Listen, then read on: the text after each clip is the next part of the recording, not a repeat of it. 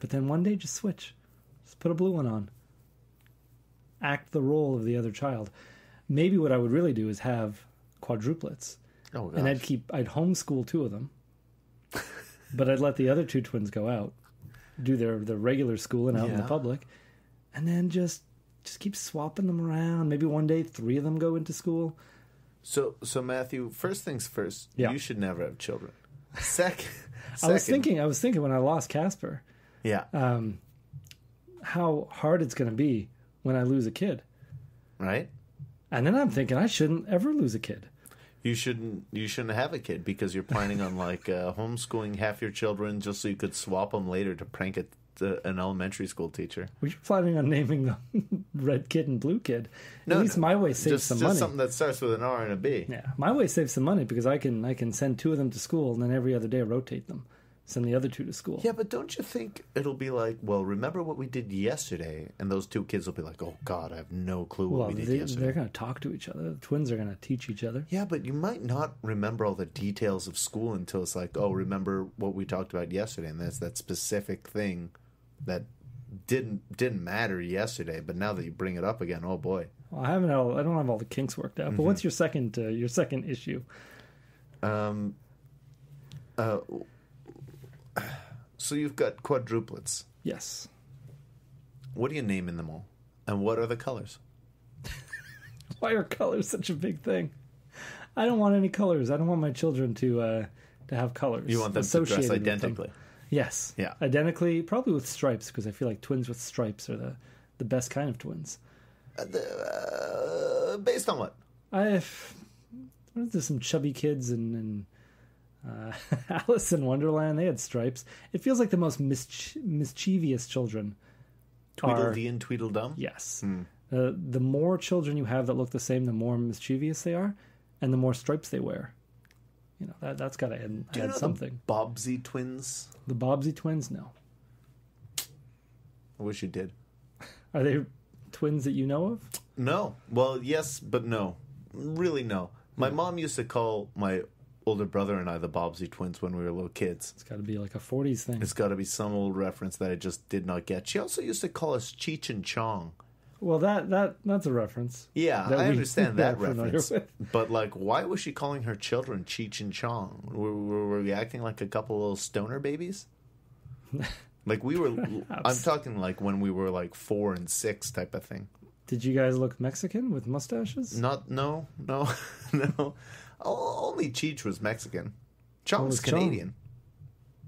Yeah, but he he he's just spent got so much time with with The Cheech. Cheech that's rubbed off. Yeah, I think so because I, I I've seen Chong in person and I thought And you he, thought he was Mexican. I thought he still looked kind of Mexican. I want to say he's from like Winnipeg or yeah Edmonton. yeah. He has a very uh, he- his skin is kind of dark, leathery skin. He lives. He's been living in California for decades. Probably has a good tan. Yeah, he- to me, he looks like a skinny uh, Danny Trejo. Okay, like a like a non-threatening Danny Trejo. Very non non threatening. Uh, however, Chong has been in prison, Yeah, I could picture that. For what? uh, selling uh, Oh, marijuana probably. paraphernalia. He had a Ah. website where he was selling like pipes or something, Well, that just seems like what year was this? Like relatively recently, Because I like there's- after his stint on that '70s show. who is this? Tommy Chong. Tommy Chong. I think he said Cheech. I'm all over the place here. Um, well, that doesn't seem illegal at all. I mean, there, there's Right? stores that are out with storefront windows that are advertising this. I know. Uh, I guess it depends on the state because the internet is the whole. It's all the states. So, like maybe in one state it wasn't cool, and so he was selling it online. So he got caught and imprisoned. And they're going to make a, an example of this celebrity. Exactly. Exactly. Uh, conversely, uh, Danny Trejo has also been to prison. I believe it was also drug related. I feel like it's murder related. I don't know. What, uh, I feel like there's a lot. He's like the kind of person who you know there's some horrible stuff in his past, and whether or not he's been caught for it or not, I feel like Danny Trejo may be the actual most interesting man in the world. maybe. But if interesting constitutes just a bunch of murder, I, you know what? I, I bet he hasn't murdered anyone. Maybe someone has died, but that's manslaughter. I mean, you can call murder manslaughter till the cows come home, but what is manslaughter? It, like involuntary murder. Yeah, there's an easy. You do something it results in death, as opposed to specifically trying to murder someone. But I feel like that's what a good lawyer will do. Well, he'll he'll turn a murder into manslaughter. Well, yeah, okay. Get you off the I- hook. but I've got a feeling Danny Trejo in his pre-Hollywood days did not have a good lawyer. No, probably not. I don't know anything about him. I'm just speculating. He's got a lot of face scars. Probably just had a lot of acne as a kid. Uh, let's go with that. Yeah, Dan Trejo, Either just a either real criminal or had acne. career criminal with who now has a mustache, or had acne and now has a mustache. Yeah. So Matthew, we went to uh, Ville-Émard today, uh, close to Monk Metro. This original Dilallo Burger, just maybe a five minute walk from Monk Metro. Uh, I don't know if I've ever gotten on or off at Monk Metro before. It's a lovely little neighborhood. I feel like you say that about most neighborhoods, and I find most neighborhoods disgusting. Wait, what? You didn't like this neighborhood? No. What didn't you like about it? I thought it seemed so so homey, like you could raise a family there. Buildings are too close together. When you see people, uh, when you see people's laundry out on the line, What's wrong with that? don't that? like that. That means it's a beautiful day and it's a, like a community where you don't have to worry about people stealing your laundry. means they're too cheap to get dryers. No, in the in the in the summer you don't need to run your dryer. In the summer you could just put it out on the line and save a little electricity money. Keep those hydro bills down. Yeah, I guess it just uh, it depends. It depends what kind of stuff you're drying out there on the Be line. springtime fresh. Yeah. yeah, you ever dry something on a line? Yeah, They don't come back to you really crispy, depends on how breezy and sunny it full is. earwigs. Earwigs, no. I've got issues with drying things on lines. How bugs get in. How where are the, okay, hold on, hold on. If it's windy or and or sunny, they won't come back all crusty. If you hang them in your apartment, they'll come back all crusty. Hmm. I guess they're not coming back when they when they're on a line. Squeaky, squeaky, squeaky. They come back, but Yeah. when they're just sitting on a chair or something, they don't really come back. I, I don't have much experience with it. I think my dryer broke once for a, a week. had to dry my. Uh, My dryer's Stuff. broken right now. Some of my stuff I dry outside. Some of my stuff I dry inside. The outside stuff not bad. The inside stuff crispy. Hmm. you were Crunchy. yeah. Okay. Well, okay. I, I I take back my comment. I don't want people without dryers to think I'm insensitive to their their ways. Matthew, you're an elitist. You're a dryer elitist. You're just burning money on your hydro bills. Pretty much. Yeah. Yeah. Yeah. It's different now that I have to get tokens for the, the apartment building. dryers. Oh, okay, okay. So, do you dry fewer things? I wait till I have a lot of stuff to dry. So, Back in the old days, I would just dry a pair of socks because they felt uh, like felt they could nice. be drier. yeah. Hmm. Don't you have radiators in your apartment? Can't you just put socks sitting on a radiator? Like a heater, Yeah. electric heater. Oh, electric heater? You don't have any of those like water No, radiators? no, no, no. None of that, sir. So my solutions for you are are gone. Yeah. Uh, what were we talking about? Why I didn't like this town? Yeah. Ville-Émard. Well, it's not a town. Technically, it's a Ville? borough, or it's a uh, neighborhood of a borough, the Sud-Ouest Borough. Okay, maybe I just didn't like it because it was so far away from where I live. Not that far. It's like five metro stops away. That's five metro stops. It doesn't matter how many metro stops. If I have to get on a metro to get to you, I've already spent three dollars and I'm unhappy. I mean, okay, you don't have a metro pass, Matthew? No, yeah. no. Well, I mean, for starters, you could buy two at once if you're going to Ville-Émard and back. You know, you go take a metro twice. Yeah, It's cheaper to buy two at once. yeah. It's not making it better though. I'm still. I already said I'm spending three dollars. That's that's I guess assuming. that is what you're spending if Yeah. you get two at once. Yeah. Yeah. But my reasons are superficial. So, what what are your reasons for for loving it so much? Why I don't you mean, move I've, there? I've never, I've never been there before, and I could see myself maybe moving there as long as I'm close to the metro.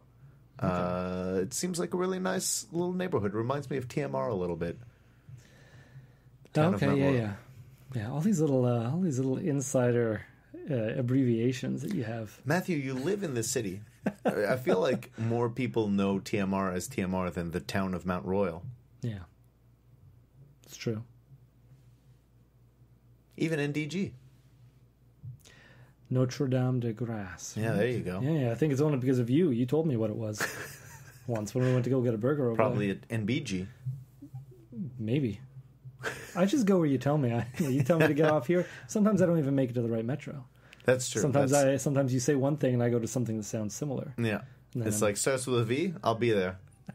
and then it's like you read a text message and just stop at the first letter of the metro stop and go, Yeah. yeah, yeah, I know the one. That's better than how I used to be. I would just if I had to get on the metro, I would just get on left or right. All right, 50-50 chance, and then I would just hope that I'm heading the right way. So Matthew, let's say next week you have to choose where we go.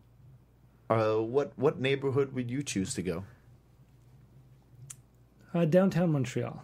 We've done so many downtown Montreal. We need to spread it out a little bit.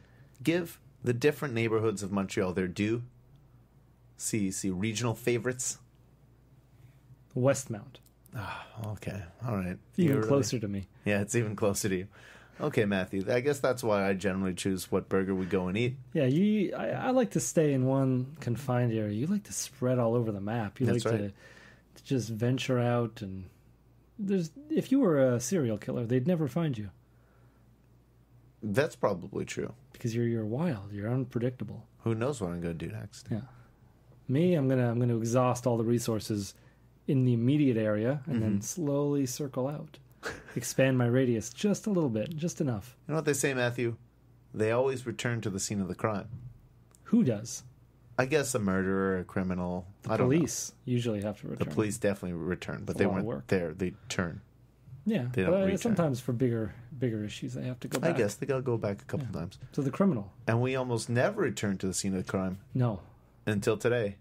Went back to Dilallo Burger. Matthew, let's start getting into your issues with Dilallo Burger this time. And maybe maybe a little bit of the the intervening Dilallo Burgers you had and what was right and what was wrong. I want to be clear that there was no crime committed. So our return to Dilallo was Well, I mean, you could argue that the Dilallo Burger we had on our first visit was the real crime. I'd say it was an injustice. Okay. okay. All right. but um all right, Sebastian. So not a lot has changed at Dilallo. Since 1929, Matthew. I feel like a lot has changed in in those years, but not a lot has changed since we went Okay. a year and a half ago. Mm-hmm. They still did not serve me on a plate. Correct. Uh, I don't know if they listen to this podcast, but if they had, maybe they'd be better uh, prepared for this. But we also said we were not going to give them any heads up. That's right. So this was uh, a surprise visit, a surprise inspection. Uh, also, they were they were empty again. They were empty. And Mind this you, location was like Ville-Émard, 10 it's times the size. lunchtime. It's a much bigger location. They serve beer. I imagine they're probably busier during like uh, evenings or hockey nights or whatever.